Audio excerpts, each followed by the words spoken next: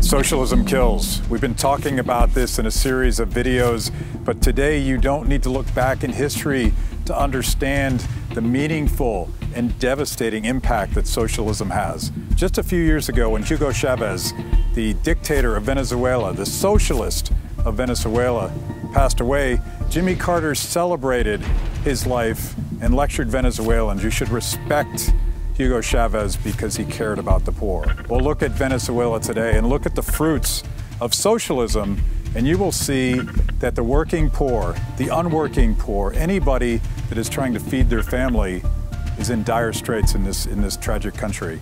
You can't get food, you can't get diapers, you can't even get toilet paper. Most devastatingly, you can't get beer to live through this socialist hellhole. How did this all happen?